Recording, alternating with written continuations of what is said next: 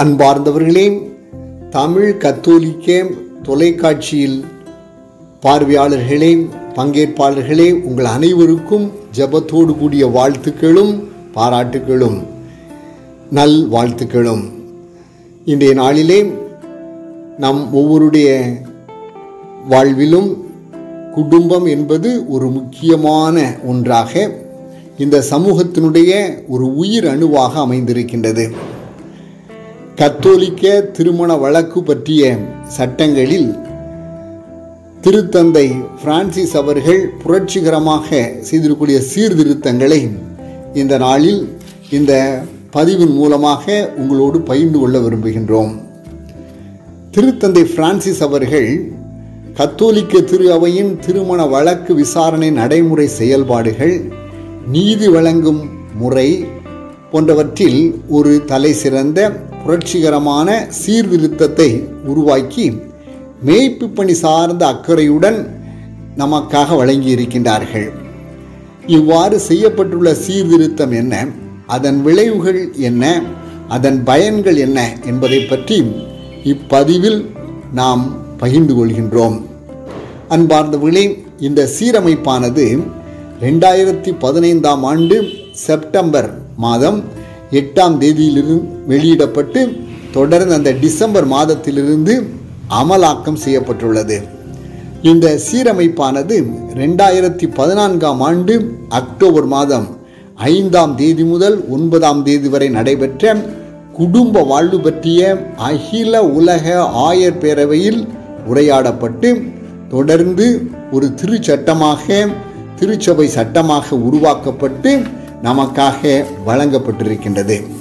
இந்த சீர்திருத்தத்துடைய முக்கியமான ஒரு அம்சம் என்னவென்றால் எல்லா மக்களும் மிகவும் சிறப்பாக ஏழை எளிய மக்களும் இலவசமாகவே கத்தோலிக்க திருச்சபையினுடைய நீதிமன்றத்தை அணுகவும் அதன் மூலமாக தாராளமாக தங்கள் வாழ்வு வளம் பெறுவதற்காக பயன்பெற்று பெற்றுக்கொள்ளும்படியாக ஆன்மாவின் மீட்புக்காக உருவாக்கப்பட்டிருக்கின்றது. அதாவது சட்டபூர்வமாக செல்லா செல்லுபடியாகாத திருமணங்களை மறைமாவட்ட ஆயரோ அல்லது ஆயரின் பதிலாளியோ நீதித்துறை பொறுப்பாளரோ அத்திருமணத்தை விசாரித்து அந்த திருமணமானது தொடக்கத்திலிருந்தே ஒரு திருமணம் இல்லை என்று நீதி வழங்கலாம். பொதுவாக கத்தோலிக்க திருச்சபையில் இத்தகைய நீதி வழங்கும் நாட்கள் நீண்ட ஒரு நாட்களாக அமைந்திருந்தன. ஏனென்று சொன்னால் இதற்கான நிகழ்வுகள் முறைகள் ஒரு நீண்ட ஒன்றாக அமைந்திருந்தது.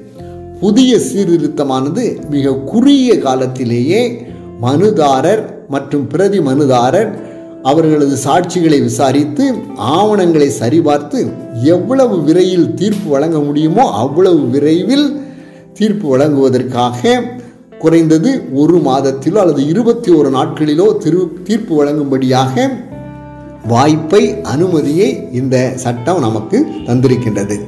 மிகவும் குறிப்பாக எந்த விதமான பண செலவும் இன்றி அதாவது எந்த விதமான கட்டணமும் இன்றி மக்கள் நீதிமன்றத்தை அணுகுவதற்கும் ஒரு வாய்ப்பு வழங்கி இருக்கின்றது இதற்கு முன்னால் ஒரு திருமண வழக்கானது கத்தோலிக்க திருச்சபை நீதிமன்றத்தில் முதல் நிலை நீதிமன்றத்தில் தீர்ப்பு வழங்கப்பட்டு அது கட்டாயமாக இரண்டாவது நீதிமன்றத்திற்கும் அனுப்பப்படும். ஆக முதல் நிலையில் நீதி வழங்கப்பட்ட அமைப்பு சரியாக எல்லா விதமான வழிமுறைகளும் பின்பற்றப்பட்டிருக்கின்றதா என்பதை இரண்டாவது நீதிமன்றமானது சரிபார்த்து அதோடு எல்லா விதமானவற்றையும் மூன்று நீதிபதிகள் இரண்டாவது நிலையை சரிபார்த்த பிறகுதான் இந்த தீர்ப்பானது உறுதியளிக்கப்பட்டு அதற்கு ஏற்ப முதலில் கொடுக்கப்பட்டுள்ள வழக்கு சீ தீர்ப்பு சரியானதா இல்லையா என்பதை உறுதிப்படுத்துகிறது இதுவும் கூட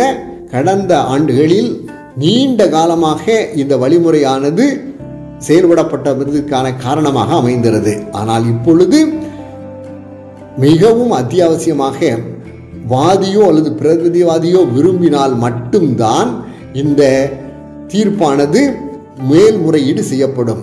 அல்லாவிட்டால் அனைத்து உரையாடல்களும் வாதியும் பிரதிவாதியுமாக இணைந்து உரையாடி இங்கு தீர்ப்பு வழங்கப்படுவதால் மேல் முறையீடு செய்வதற்கான வாய்ப்பும் பெரும்பான்மையாக இல்லாமல் போய்விடுகின்றது.